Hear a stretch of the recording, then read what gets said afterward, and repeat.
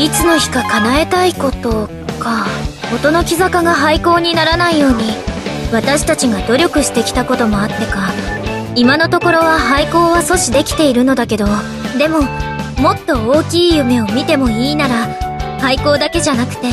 もっと生徒数をたくさん増やしたいと思っているの。花代たち1年生なんて1クラスしかないでしょ？もっと生徒が増えて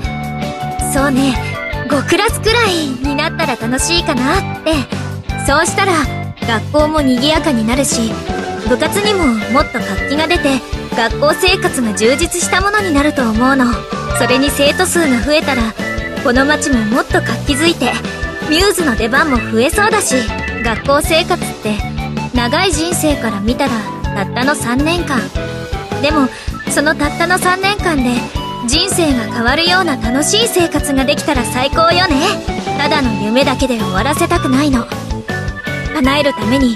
これからも努力していくわ。音の木坂に入りたいって思ってもらうには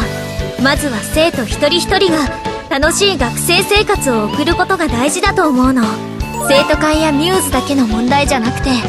私たちが楽しい毎日を送ること。これからも楽しい日々を過ごしましょうね。